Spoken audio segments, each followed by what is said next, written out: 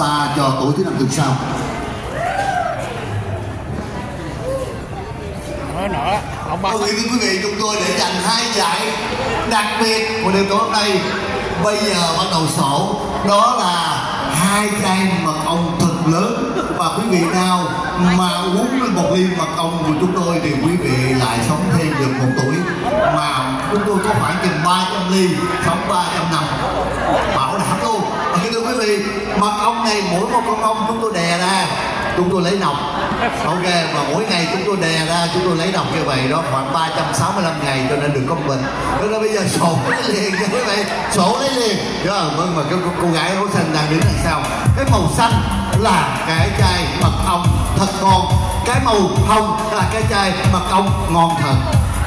Đây, đây, đây bớt nhạc này giỡn chơi này đã cộng số. Số 6 là tôi dành quý vị tôi cũng buồn cười số 6 là quý vị yêu thương em. Còn bên này nó ghét ok. Số thứ hai là số 6 số 6 với số 6 có khác nhau quý vị dạ có một cái tiếng việt, cái tiếng anh. Cái số cuối cùng là cái ngày nghỉ của tôi, đó là ngày thứ mấy?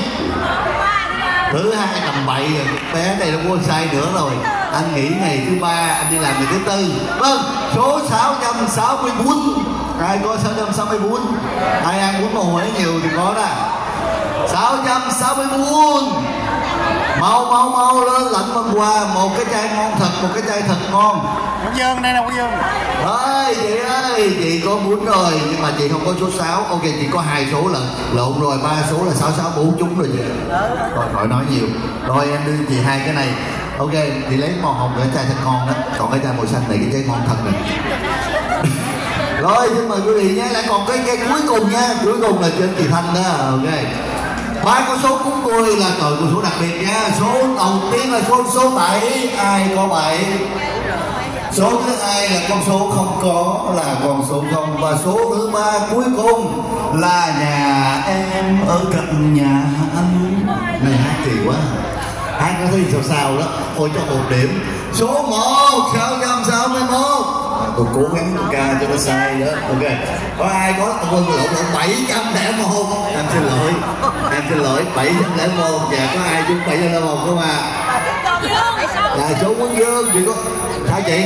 Trên này. 609 sáu trăm lẻ chín bây giờ không ai bảy trăm một lần đầu tiên lần thứ hai thì bà bỏ luôn. 609 ok có người thì sáu trăm lẻ chín sáu trăm lẻ hai. Ok tôi kêu luôn hai số. Dạ. 609 đúng rồi chị ơi. Nha. Số bao nhiêu chị? Sáu trăm lẻ hai phải không